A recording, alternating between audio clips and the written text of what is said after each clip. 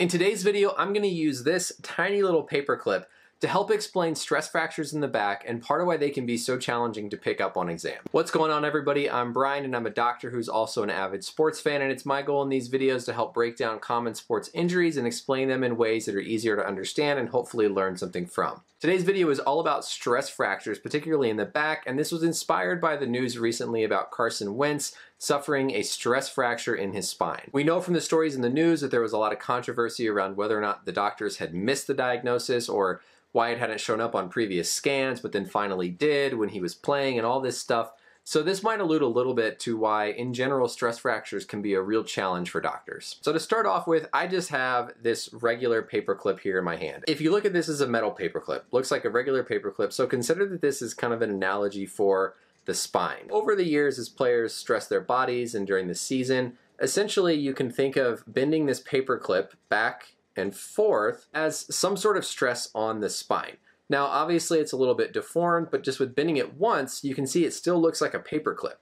To the naked eye, you can't tell that there's been any damage, but we know from bending it back and forth that there's been some degree of change in the paperclip, in the metal itself. Now, ultimately what can happen if we keep stressing that back and forth, back and forth through games, through practices, through weightlifting, through all of these things, ultimately over time, it fractures. And so this is an analogy we use with patients who have developed stress fractures.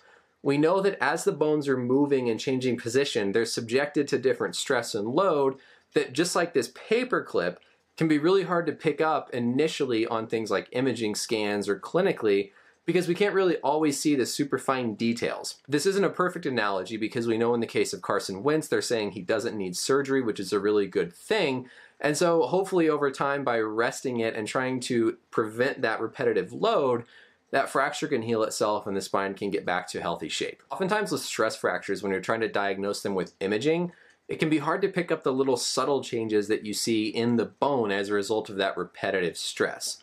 Eventually, they will become visible on scans, but sometimes it's not until the point where they've actually fractured and there's a break in the bone. Now, hopefully, the fracture can heal up really well and he'll get back to being full strength next season if he has to sit out this full year. But I hope that was a useful analogy to give you. And it, like I said, it's something we use for our patients in clinic when we're trying to explain stress fractures. This idea of just repeatedly bending or stressing something, it'll do fine, it'll look pretty normal, but ultimately it'll get to the point where it actually does break. We'll talk some more about the specifics of the injury if we get any more information, but for now, like I said, there's just too many details that are unknown, and so this is all we'll focus on for now. I hope that was helpful. I hope it was interesting. Next time you've got a paperclip laying around and you want to help explain to someone how a stress fracture develops, use that simple paperclip analogy. Thanks as always for watching this video, everybody, and we'll see you next time.